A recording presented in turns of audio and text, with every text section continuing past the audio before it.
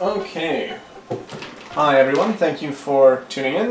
Welcome to uh, Wargamer Shut Up and Build, uh, episode 1. This is our inaugural episode, um, which is pretty awesome. So, what we're going to do today is we're going to um, create some bout, or well, some turf, basically. So what I've got here, and this is this is not the cheapest way to go about this. So um, a lot of what I want to do is I want to show people how to get a Warmachine table up and running um, on the cheap because with the cost of the models and the glue and all the other crap, you end up spending a lot of money and or at least a, a reasonable amount of money. And there's ways to kind of mitigate that. This is not the cheapest way to do that. However, um, if you're doing big projects, if you're doing, um, you want to do a whole table like this, this might be a good option. Also, um, if you do this sort of strategy, you'll end up with basic materials for basically, well, for forever. So that's kind of the goal with this. Now, what we've picked up here is um, I've got these two, which are fine ballast and coarse ballast. Now there is a mid-grade ballast, and all this is are basically crushed up little rocks. So um, if you're wondering what ballast is, that's what it is. And um, the problem with the, actually sorry, yeah, the problem with the mid-grade is that it's hard to tell between the coarse ballast and the mid-grade ballast if you're not super close. So for general terrain, I think that the contrast between these two is going to be pretty, pretty okay. And that should be alright. Um, and then what we're going to do is we're going to blend together um, our ground stuff. Now, um, to make this cheaper, to not do this route, and I'll explain kind of the, I'll break down some of the costs associated with doing it this way. Um, you don't have to go this route. The cheapest way to do this, um, or to do ground texture on, on general terrain pieces, is basically just take some of your sand. Um, even you just need the one kind of sand, really. You don't necessarily need two. Um, you you put it on, you paint it, and then you um, basically put a whole bunch of just regular flocking down, and that's and that's pretty good for most people. Um, what we're doing is we're, we're going to be mixing a bunch of different kinds of stuff um, between these three, as well as some extra stuff that I just happen to have laying around. Um, we're going to create um, some turf that's got a bit more variation, so it'll, it'll look a little bit nicer. Um, is the dream anyway. So each of these, well actually each of these guys in Canada at a local hobby shop. So this is probably the most expensive way to possibly buy this, but each of these is 14 and a half, 15 dollars. Um, so they're not cheap, but you get a whole lot in it. Um, if you compare to kind of the offerings from other companies, so um, here's Army Painter for example. This guy cost, okay, this guy cost me 450, which is actually not too bad. Um, so like they're usually between 450 and six dollars. If you go Games Workshop, it's gonna be more.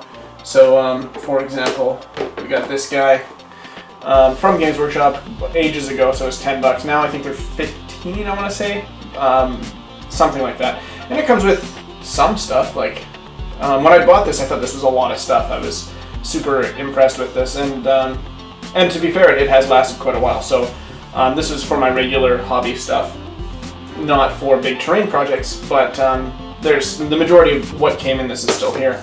but when you compare to this, as an example, um, there's there's really no comparison. So this this was these guys are each uh, these two are 12, 65, 12, 95, and 13. So basically 13 bucks a piece. Um, and this is going to cost equal to or less than this these days, except the difference is is huge. So I wonder if it actually says how much stuff is in here. It doesn't look like it. Um, now to be fair, if, um, yeah, minimum weight 15 grams, um, this is a lot more. Uh, probably at least 300 grams, 400 grams, maybe half a pound, something like that.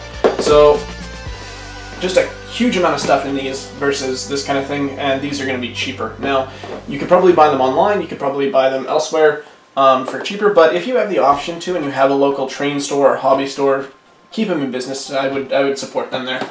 But, um, but yeah, so what we're going to do is we're going to take these three guys, we're going to mix it in with just the random stuff I have. So um, the, the thought is if you have any basic material laying around, you can kind of do this and it's not going to be super expensive. So I've got uh, burnt grass, field grass, scorched grass, grass grass, um, ash gray, which we will probably put in as well. Um, some leftover um, coarse. This was a coarse turf, but it's slightly different color, so that's kind of good for us. And then this was a, a mix of field grass and burnt grass from whenever I mixed that. That would have been quite a while ago. But yeah, so that's what this this uh, is about. Because we're going to be doing some major terrain projects, the um, the idea is that we're going to make some some ground texture that will be fairly consistent between our different projects, and um, it should look pretty awesome. So it's not going to be a precise science. We're just going to basically dump out a reasonable amount of this stuff. Now, um, you could just take a big vat of a big vat rather than like a smaller bit here, and you could just dump it all in there. However, there's so much stuff in here that I would rather just keep some of this laying around just in case. Um, not to mention that with the turf, um, you can kind of stick it in its moss patches, and that's pretty sweet. So, just a quick comparison. Um, I've put there's probably about the same amount of stuff in here now as there was in this, and we've used that much of it. So it's it, it's a crazy better deal to get this stuff. Um, again, if you don't have access to it um, and you can't shop online for whatever reason, that's kind of sucky, but um, regardless. So we're to take some of this, this stuff that we have left over. And again, same thing, not precise measurements, just dumping it in. And you'll find that you'll um, get a lot of mileage out of this. Um, one other thing is that if um, you know if you don't have the cash to drop on all these different basic materials because um, I think I spent like 75 or 80 dollars today and that's hopefully my fiance is not watching this but um, it, it, it's not a small investment if you do it this way. So it's kind of a little it's kind of packed in there. But um, if you do it this way you'll have tons of stuff.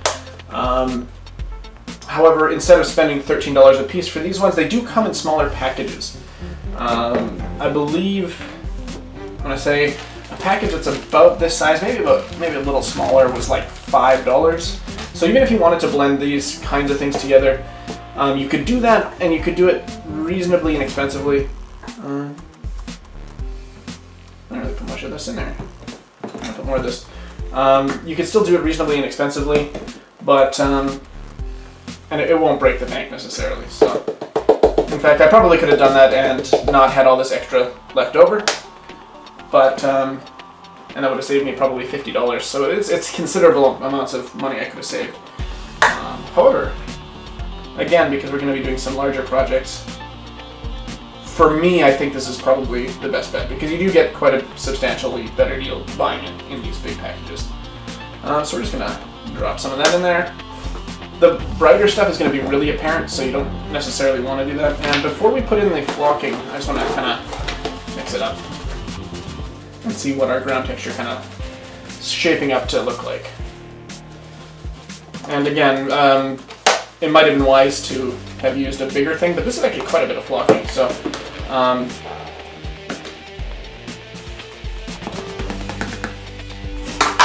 yeah, so that's starting to look, that's looking pretty good actually. got some nice variation between the colors when you throw it down and uh, do like a large area.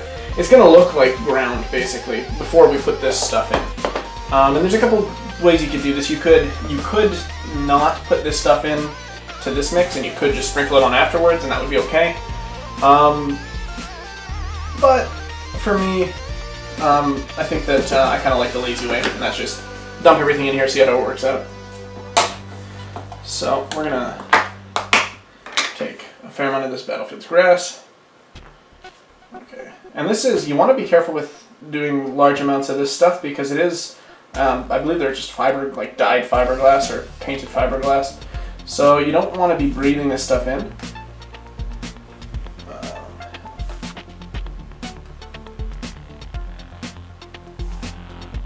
It's not going to be very safe to, to breathe in. Oh shit. Okay.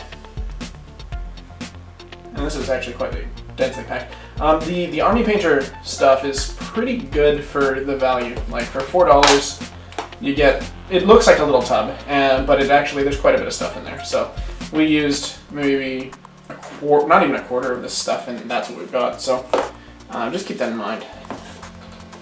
Um, I know that this one here isn't, at, at least um, this style of container is no longer sold by Games Workshop. I don't know that they do the individual colors of flocking anymore. Um, I haven't really been keeping up with what Games Workshop's been doing in general. And this, the so if, if you can find this kind of stuff outside of Games Workshop, you're much better better off. But um, the benefit of having a dark flock like this, or a dark uh, static grass, is that it will darken everything in there. So it'll blend everything together, it'll darken it, and um, it'll look pretty vision. So.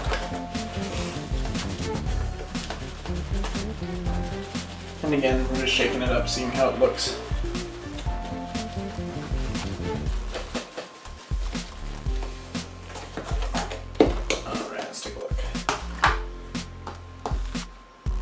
So much stuff in here now. So that looks pretty awesome. Now there's still, so the some of the static grass actually is still pretty bright. Like little clumps in there and it hasn't quite been mixed in 100% because our, uh, our container is probably too small for what we're trying to do here. So, I mean, bigger container is probably better, but um, I think uh, fitting a bigger container in here just to keep it in frame and show you guys is probably not the best move. So, and basically that's it. Like once uh, once you get to a point where you're happy with it, it looks blended. It, you've got all this different stuff. Um, it'll look natural. Not to mention that um, once you do um, put this stuff on your models or on your on your terrain bases, and and you use these guys for um, like little shrubs or moss or whatever, they'll blend right into what you're doing because the colors are already in there. Um, without looking, so that they won't look out of place and it won't look like you just stuffed the one random thing there. Um, this will give your, your ground a little bit more texture than just putting like sand and grass. So um, you want to, we'll, we'll, go over how to use it, but um, but yeah, this is pretty pretty awesome. So this is exactly what I was looking for. It looks like a big thing of moss. It looks pretty realistic. Um, and if you're not happy with it, you can just mix whatever else you want in. I don't think I'm to put in the ash gray, actually. Um, yeah, I'm going to keep that out. But, uh, but yeah, that's basically it. So thank you for watching this um, this ballast tutorial, or this, uh, well not ballast, this is the ballast stuff, sorry. This um, turf tutorial. If you like, please comment, subscribe, thumbs up, all that stuff.